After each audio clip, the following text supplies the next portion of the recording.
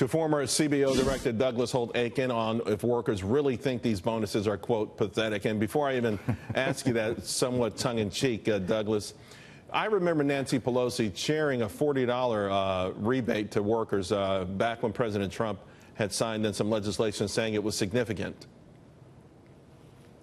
Yeah, I, I think it's going to be an awkward position for Democrats to stand between uh, the, their constituents' prosperity and, and, and they, they're not going to keep this up very long. I mean, corporate America has done something that I think is very smart. Uh, as you know, uh, for eight years during the Obama administration, big corporations got beaten up basically every day. Uh, they were uh, a lot of finger pointing. They were the source of all our problems. And what did they do? They turned around. They took the first opportunity where they got some sort of, uh, of uh, help, and they, they passed it along to their workers. And they, they really pushed right back against that image. I thought it was a very bright thing for them to do. It also helps each of the corporations. The labor market is tightening. Who do you want to work for? The guys who hand out bonuses when they get the chance, or some other company? So uh, this is really, uh, I think, a very smart move from the point of view of the, the larger arc of the, the politics of corporations, but also just from their labor market incentives. Well, Douglas, what about the notion, uh, of course, that um, you know, uh, no matter what they give, by the way, I think the, some folks will never be satisfied or find a way to critique or criticize right. them. Yesterday, for instance, Walmart uh, giving 1.5 million workers uh, bonuses, maternity leave, pater uh, paternity leave, $5,000 bonuses for, for adoption, and yet being criticized for having closed Sam's Club stores, which obviously, in its competition against Costco and, and Amazon, they just happen to be a casualty there.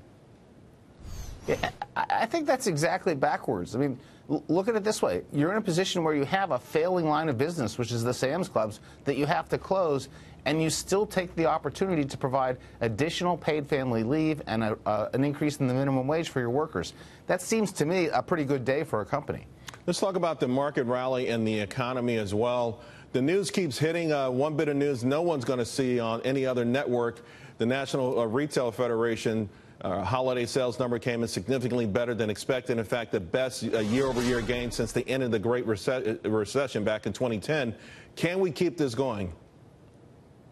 Uh, I'm really interested in seeing what fourth quarter GDP is going to look like. I mean, people got very excited about the third quarter being above 3%. A lot of that was inventory build. Uh, the, the, final sales underneath it were about 2.3%. Uh, fourth quarter data, though, looks strong. They look strong in the household sector. They look pretty strong in, in uh, capex and durable goods purchases. So uh, we could see that number bouncing up in the fourth quarter, which shows the strength of the economy coming into 2018. And the market speaks for itself. The question is, will the rest of those fundamentals look just as good? And I'm looking forward to seeing that. Yeah, it'd be, it'd be wonderful to get three consecutive quarters of 3% GDP growth. It's been a long time since that's happened. Doug, thanks a lot. Yes. Always appreciate it.